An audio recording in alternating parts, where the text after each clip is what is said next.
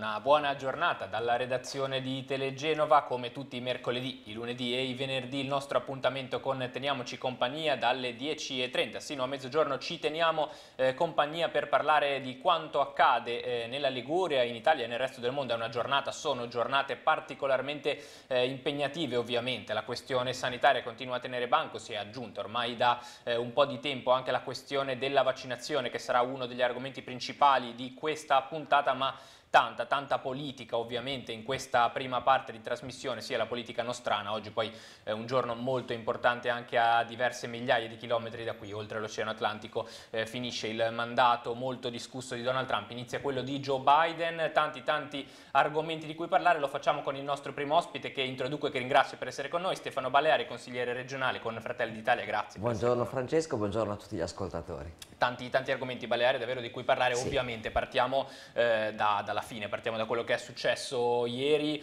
eh, assistito insomma a una giornata eh, davvero particolare per la politica italiana, un thriller, si era detto che aveva messo in grossa difficoltà il governo, è diventata anche, dobbiamo dirlo, una commedia molto italiana a un certo sì. punto con quanto accaduto con eh, il VAR, possiamo dire che è intervenuto per controllare che tutti i voti fossero lì, alla fine i voti hanno espresso una maggioranza eh, molto striminzita per il governo di, eh, di Conte, 156 voti, ne servivano circa 150 per poter rimanere eh, in carica. Qual è il suo commento sulla giornata di ieri? Un'unica parola, imbarazzante.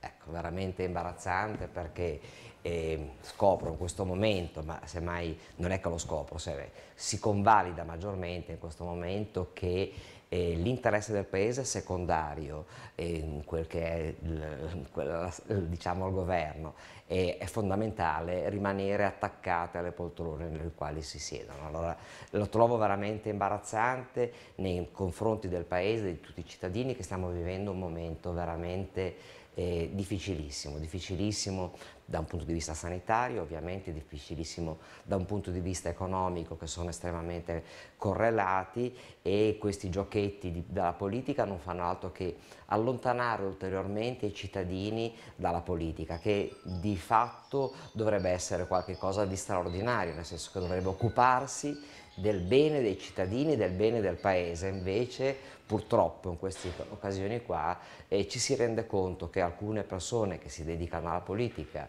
dei politicanti, perché non sono dei politici... Non li chiama eh, responsabili, lei mi sembra di capire che questo termine non... Assolutamente, non è questione di responsabilità, anche perché guardi, eh, onestamente, eh, le persone che hanno detto che è dei responsabili andare al voto in questo momento qua, eh, dovrebbero cercare di capire alcune cose. Intanto in Europa e nel mondo e nonostante le problematiche che ci sono legate al Covid-19 si va a votare in determinati paesi, pertanto voglio dire non capisco perché in Portogallo piuttosto che in Spagna si possa andare a votare, in Italia no. Il fatto lei dice che in questi paesi si vada a votare per la fine del, del mandato rispetto a una caduta eh, del governo eh, non eh, fa differenza? Ma assolutamente no e questo qua è il primo punto. Seconda cosa, se andare a votare non si può per motivi di, di Covid eccetera eccetera, perché hanno eh, stabilito che si possa andare alle elezioni amministrative lo stesso in questo periodo, voglio dire, non, non riesco a capire. Pertanto cioè,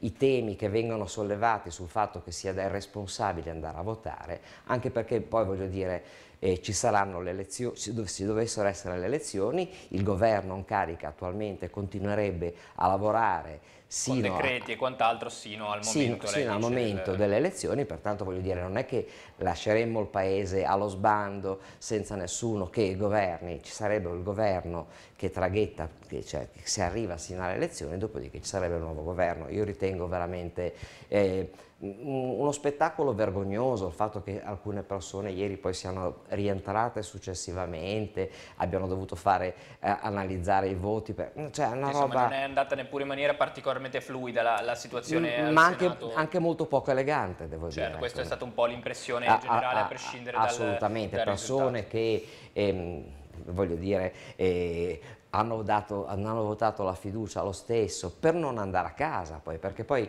guardi, su alcuni partiti, e mi permetto di dire ad esempio i 5 Stelle, sanno benissimo che alle prossime elezioni eh, ne verrà eletto uno su tre forse, Che adesso godono, lei dice, di una, di una maggioranza che non rispecchia la, la situazione attuale Ma del no, paese. No, no, no, rispecchia quello che sono i desiderati le necessità economiche di alcune persone che sono sedute eh, al governo, cioè a, eh, alle Camere. Pertanto eh, diventa oltremodo imbarazzante cercare di farlo digerire al paese, cosa che secondo me non ci si riesce. Senta Valerio, io le chiedo anche, eh, perché comunque in questo momento il governo ha incassato la fiducia, ma si apre una fase piuttosto critica a prescindere, perché perché si è ristretta la, comunque la maggioranza certo. che appoggia Conte e peraltro è più come dire variopinta, a questo punto diventa eh, complicato raccogliere e gestire una maggioranza che non è più formata possiamo dire da due grossi blocchi certo. più Italia Viva ma appunto con diversi appunto gruppo misto e mh, vari scappati di casa io li chiamerei mi, diciamo, mi questa, permetto di usare questo termine così semplicemente sì. gruppo misto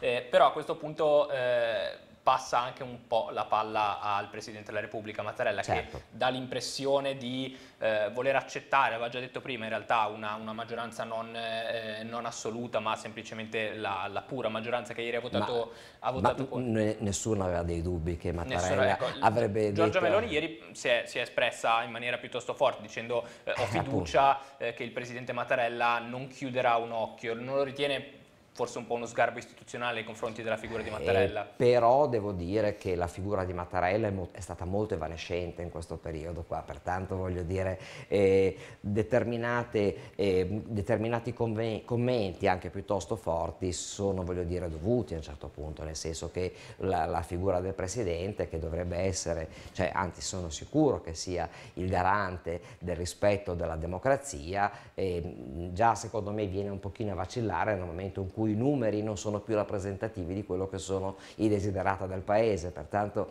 voglio dire eh, su, su, certe posizioni e poi sul fatto che continui, si continui a dare fiducia a questi esecutivi che di fatto non rappresentano proprio il paese e soprattutto non rappresentano ciò che vogliono i cittadini, mi sembra che sia un po' una forzatura, ecco, sinceramente. A prescindere da queste situazioni si erano viste anche altre ipotesi, diciamo che mh, tendenzialmente anche nei giorni scorsi l'ipotesi di tornare alle elezioni era sempre rimasta piuttosto sullo sfondo, c'era però l'impressione che eh, forse Renzi si aspettasse un cambiamento al vertice, che poi non è avvenuto, si è parlato di Draghi. Lei ritiene che mm, mm. fosse fantapolitica in questo momento o, o mm. effettivamente Conte non è più il leader che serve all'Italia? Ma eh, secondo me i, i, personalismi dovrebbero essere lasciati un po' da parte, cioè nel senso, cioè, eh, la figura di Conte che a me non ha mai rappresentato, devo dire la verità, eh, non è che eh, si possa sostituire con un'altra figura in automatico con la stessa compagine perché vede il problema che questi, eh, questa compagine di governo è talmente eh, distante all'interno della stessa compagine di governo che è impossibile riuscire ad avere perché si tratta sempre di mercificare. Io ti do questo se tu mi fai questo non c'è una visione globale eh, da portare avanti diventa un po' una trattativa. Avrebbe un governo di di centrodestra sarebbe altrettanto diviso? Perché sono comunque tante componenti quelle che andrebbero eventualmente... Ma, eh, allora, intanto il centrodestra devo dire che è sempre mostrato, si è sempre mostrato molto compatto. Io faccio, Lei peraltro lavora beh, in una coalizione... Io faccio eh, l'esempio di ciò che è avvenuto dal 2015 al 2020 con la coalizione di centrodestra eh, in Regione Liguria, faccio lo, lo, stesso ragionamento con la coalizione eh, che è analoga a quella della Regione Liguria che c'è in comune in questo momento qua che dal 2017 continua tuttora e la, la, e la, e la conferma che è stata data poi al, al lavoro di, di, questa giunta regionale, nel, parliamo di settembre 2020, pertanto ritengo che eh, su questo modo di operare si potrebbe lavorare benissimo anche al governo. Su scala nazionale. Io la porto, la porto un po' più distante in questo momento anche da, dai, confini, dai, confini, italiani. Oggi è una giornata importante per chi fa il, il suo mestiere, ma un certo. po' per tutti, perché ormai eh, certo. è chiaro che quello che succede in America poi ha sempre un riflesso. E la mia domanda è proprio, è proprio su questo. Eh, negli ultimi anni abbiamo assistito a, al vento no? che dall'America poi si spostava sull'Europa dopo l'elezione, ricorderà, di, di Obama, certo. vi era stato l'avvento delle forze eh, neoliberali di centrosinistra, possiamo chiamarle, dopo l'avvento di Trump sicuramente una grossa spinta invece eh, di alcuni partiti, chiamiamoli conservatori, che hanno certo. preso eh, diversi voti teme o comunque pensa che eh, l'avvento di Joe Biden porterà a una crisi di quello che è stato chiamato il populismo di destra? Ma io credo proprio di no, sinceramente, anche perché il voto Biden piuttosto che Trump era un voto dettato anche da determinati atteggiamenti avuti dal presidente Trump, anche lì era un voto eh, un poco politico, eh, molto più personalizzato, devo dire. Lei come, e, come ha preso quello, gli eventi che avrà visto in televisione? E, eh, gli ultimi eventi che ho visto in televisione mi hanno sconcertato, sinceramente. Ecco, devo dire che non, eh, non, mi sono piaciuti perché poi io sono eh, un, un, democratico nel, nel senso originale eh, della, della, parola e pertanto sono contro ogni tipo di violenza ovviamente. E, la campagna elettorale americana che eh, io non conosco ovviamente eh, come fosse una nostra campagna elettorale sicuramente è stata giocata su dei toni molto, eh, molto aspri che non ho gradito eh, da una parte e dall'altra, ecco perché mh, mm, assolutamente. E pertanto ritengo che poi le problematiche dei paesi siano così diverse che in questo che caso possano... rimangano concentrate all'interno dei, dei, confini, ass dei confini Assolutamente sì.